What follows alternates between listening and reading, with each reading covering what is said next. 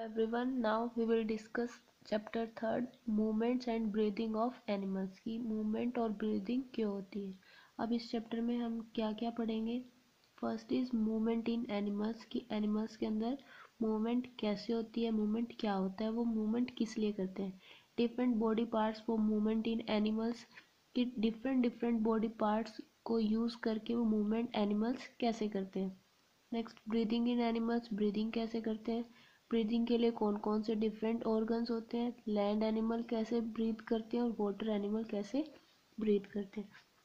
Now first is movement in animals animals के अंदर movement कैसे करते हैं और मूवमेंट करते क्यों है? जो एनिमल्स होते हैं why do they move so animals move from one place to another in search of food shelter and a safe place for their offspring जो एनिमल्स होते हैं, वो एक प्लेस से अनदर प्लेस पे जाते हैं। किस लिए? In search of food food की सर्च के लिए shelter and a safe place for their offspring और जो उनके बच्चे होते हैं, उनके लिए एक सेफ़ प्लेस ढूँढने के लिए।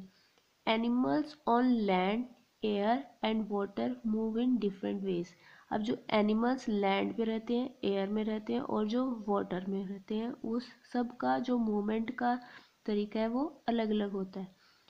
Have different body parts or limbs that enable them to move from one place to other.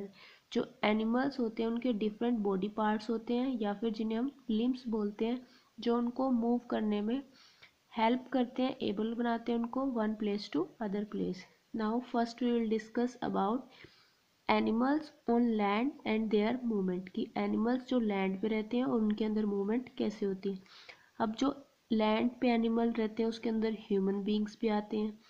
Rabbit चीता टाइगर लॉयन तो ये सारे एनिमल्स के हैं लैंड पे। तो जितने भी एनिमल्स लैंड पे रहते हैं, उन सब के क्या होते हैं? फोर लिम्स होते हैं। Animals on land have four limbs जो एनिमल्स लैंड पे रहते हैं, उनके चार लिम्स होते हैं। The two in front are called fore limbs जो सामने वाले जो लिम्स होते हैं, उनको बोलते हैं fore limbs and the two at the back are called hind limbs जो पीछे की तरफ़ होते हैं, उनको बोलते हैं हिंड फोर मीन्स आगे हिंड मीन्स पीछे.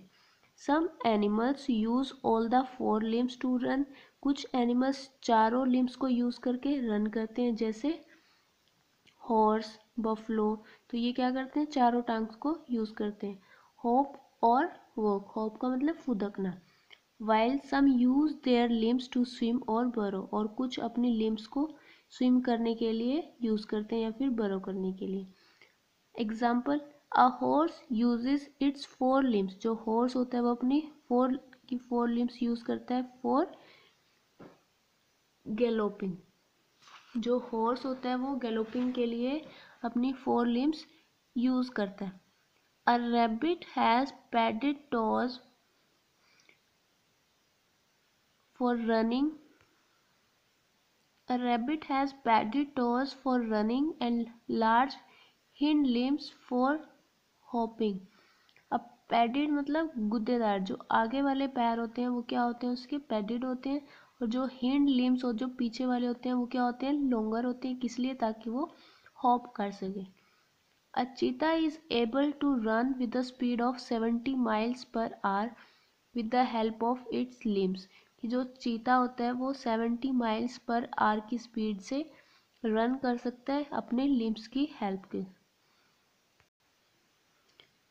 Now the largest living land animal is bull African elephant which is about twelve feet tall कि जो सबसे लार्जेस्ट लैंड एनिमल होता है वो क्या है? ट्वेल्व फीट टॉल होता है bull African elephant and giraffe is the tallest land animal with the height of nineteen feet जो लार्जेस्ट हो गया वो गया अफ्रीकन एलिफेंट और टॉलेस्ट होगा वो क्या है? जीराफ जिसकी हाइट कितनी हो सकती है?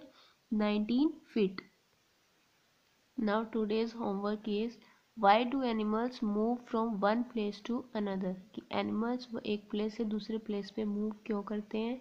Animals move from one place to another in search of food shelter and a safe place for their offspring Now, second question is, describe the limbs of land animals. हमें पता है कि जो लैंड एनिमल्स वो limbs के through movement करते हैं तो वो उनको डिस्क्राइब करना है कि लिम्स कैसे होते हैं। Animals on land have four limbs जो एनिमल्स ऑन लैंड पे होते हैं, उनके फोर लिम्स होते हैं। The two in front are called fore limbs जो सामने वाले टू होते हैं, उनको फोर लिम्स बोलते हैं।